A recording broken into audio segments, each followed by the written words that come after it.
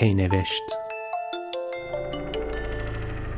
محمد خاتمی جوانانی که شعارهای تند و ساختار شکنانه می‌دادند برانداز نبودند بلکه جوانانی بودند که احساساتشان غلبه کرده. پی نوشت وقتی بر این جوونا تا گردن فشار میاد احساسات ترس و آرامششون تبدیل به احساسات خشم و خروش میشه. اون موقع شعارهای پوچ اصلاح طلبی شما آقایون رو زیر پا می‌ذارن و با تمام احساساتشون میگن براندازم. گفتگوی تلویزیونی رضا رشیدپور با حسن روحانی حتی صدای طرفدارانش رو هم در آورد پی نوشت. همش تقصیر این احمدی نژاده. رضا رشیدپور به زودی. لطفا با لبخند بگویید. براندازم. علی خامنه ای رهبر موقت نظام مقدس دستور پیگیری واگذاری بنگاه های اقتصادی در ارتش و سپاه را صادر کرد.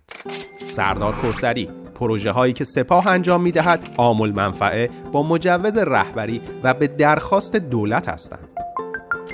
پی نوشت. یعنی میفرمایید رهبر موقت بیجا کرده و نفهمیده چی دستور داده. شما هم اول لطفا آمول منفعه رو تعریف کنید تا ببینیم غیر از منفعه شامل عام هم میشه یا خیر. توصیه علی خامنه ای رهبر موقت به مستندسازان. تحریف و شایعه دشمن را با هنر خود بی اثر کنید. تاریخ چهل ساله لبریز از سنتها بر حقانیت جمهوری اسلامی و کجروی گمراهی دشمنان است پی نوشت به نظر شما مستندتر از فیلم های ضبط شده در جلسه خبرگان هم هست؟ نکنه با معجزه مونتاژ قرار سندایی بر حقانیت نظام اسلامی ساخته بشه باید متهم پرونده اختلاس 100 میلیارد تومانی و یا به عبارت 200 میلیارد تومانی در وزارت نفت که از 20 سال پیش مشغول اختلاس بوده ساعتی پس از لو رفتن از ایران فرار کرد. پی نوشت زندانان جای نگهداری زندانیای خطرناک از جمله جوانای مخالف و معترض به نظام مقدسه. جای این عزیزان مختلف کانادا و کشورهای دیگر است. که قبول زحمت می‌کنند جهت خارج کردن پولها برای زندگی بقیه مسئولان دلسوز نظام در آینده نزدیک در این کشور.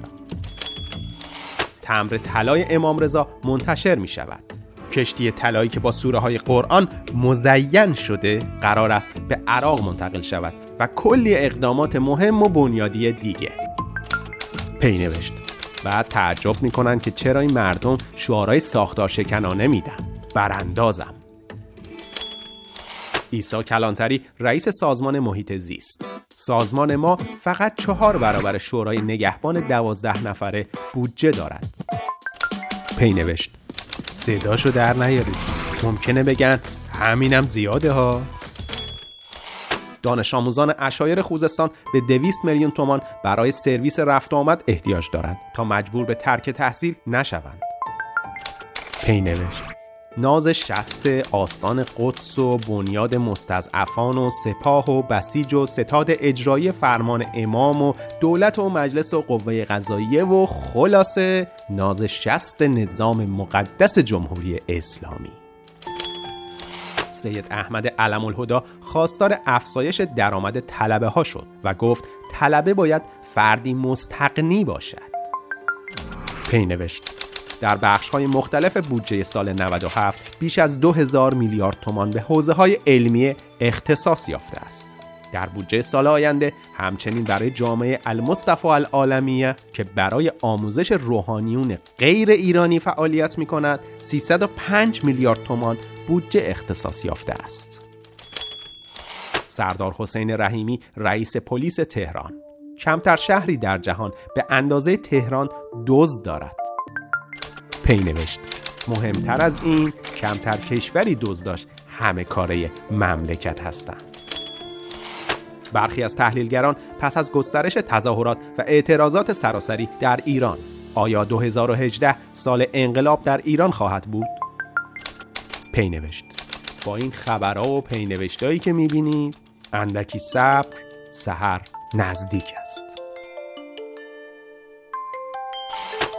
پی نوشت.